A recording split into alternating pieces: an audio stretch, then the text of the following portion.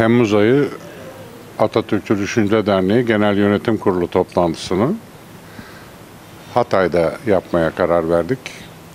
Çünkü Hatay'ın ana vatana katılışı deyip geçiverdiğimiz o tek cümle neredeyse dünya tarihinde eşi benzeri bulunmayan bir uzun mücadelenin sonucunda elde edilmiş büyük bir kazanımdır.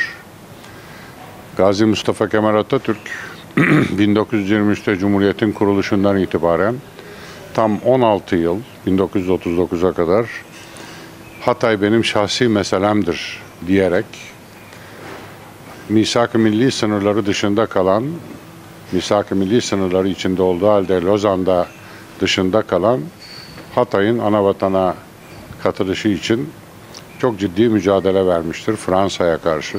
29 Haziran tarihinde yapılan halk oylamasında Hatay halkı Türkiye'ye katılma kararı vermiştir. Arkasından Hatay Meclisi 40 üyeli Hatay Meclisi oy birliğiyle bu katılma kararına katılmıştır. Onun ardından Türkiye Büyük Millet Meclisi Hatay'ın Türkiye'ye katılmasını kabul etmiştir. Son Fransız askerinin Hatay'ı terk ettiği 23 Temmuz 1939 tarihinde saat 11.40'da yapılan bir törenle Hatay'daki yani Antakya'daki Fransız bayrağı indirilmiş yerine Fra- e, Türk bayrağı çekilerek Türkiye'nin 67. vilayeti olmuştur Hatay. Bu önemli günde Hatay'da olmayı çok arzu ettik. Başta Sayın Belediye Başkanımız Lütfi Savaş, değerli eşi Nazan Savaş, Hatay Atatürkçü Düşünce Derneği Başkanımız Kezban Kur'an, onun değerli yönetimi ve sevgili Hataylılarla bir arada olmaktan büyük mutluluk duyduk. Üç gün burada çok güzel günler geçirdik, çok önemli anlar yaşadık. Dünyanın en büyük taban mozaiğini buraya kazandırmış sevgili Lütfi Savaş ve Mustafa Kemal Üniversitesi'nin değerli bilim insanları. Türkiye'nin her yerinden 50'ye yakın vilayetten gelen kesme taşlarla oluşturulan e, ortak varoluş mozaiğinin Guinness Rekorlar kitabına girişi nedeniyle düzenlenen tören ve ardından Volkan Konak konserini izledik. 5000'den fazla Hataylı, Antakyalı e, gençle, kızlarımızla, e, erkeklerimizle, çocuklarımızla bir arada olduk. E, bugün de e, yine bu tesislerde e, Genel Yönetim Kurulu toplantımızı yaptık. E, son derece mutluyuz. Hatay'ın ana vatana katılışı tekrar dediğim gibi çok önemli e, bir süreçtir. Demin anlattım 16 yıl. Bakın 3 Temmuz 1939 günü Şükrü Kanatlı Komutası'ndaki Türk ordusu Hatay'a girmiştir.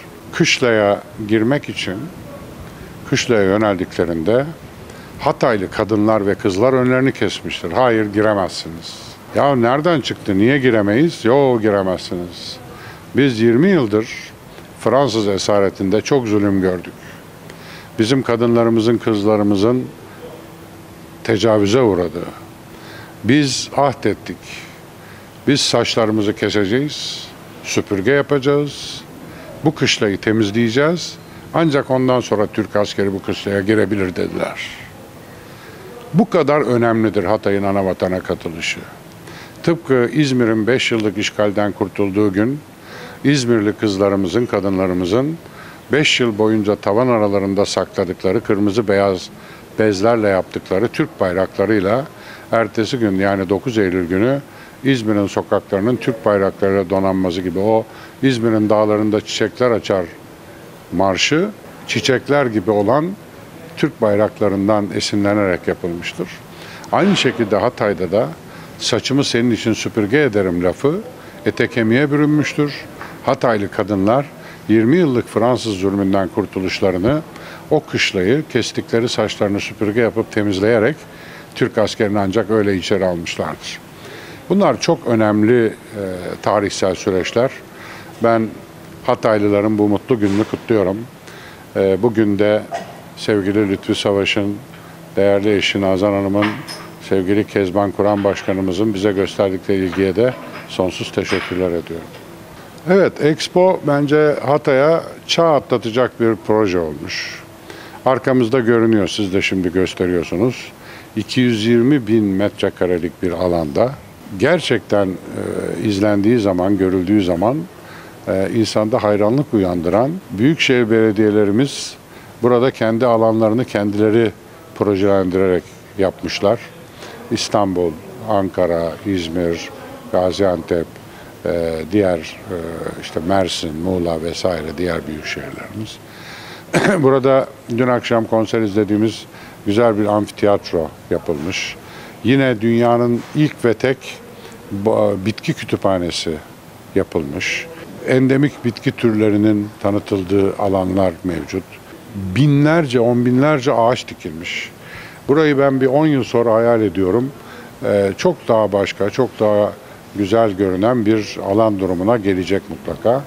Özellikle e, ortak varoluş mozaiği hem e, felsefesiyle hem sunduğu ortak yaşamı sürdürme, ortak varoluş. Yani 13 ayrı uygarlığın insanları Hatay'da binlerce yıldır kültür üretiyorlar, yaşam sürüyorlar.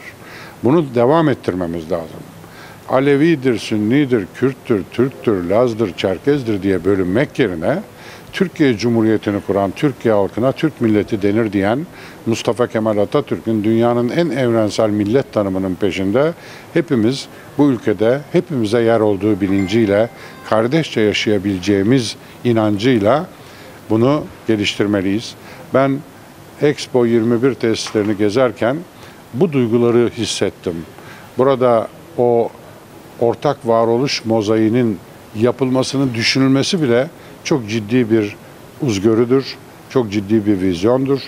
Onun hayata geçirilmesi, üç ayrı atölyede onlarca sanatçı, Türkiye'nin 40 küsür ilinden getirilen e, mermer taşları santim santim keserek bir büyük eser meydana gel- getirmişler ve Guinness Rekorlar kitabına girmiş 1600 metrekarelik tek parça e, mozaikten oluşan bir e, eser burada meydana getirmiş ama ondan daha önemlisi yani bu e, mozaik sanat tabii ki çok önemli ama asıl önemli olan bunun adı ortak varoluş mozaiği. Yani burada bütün kültürlerin bir arada yaşayabileceğini binlerce yıldır olduğu gibi daha binlerce yıl bir arada yaşayabileceğini gösteren bir e, mozaik.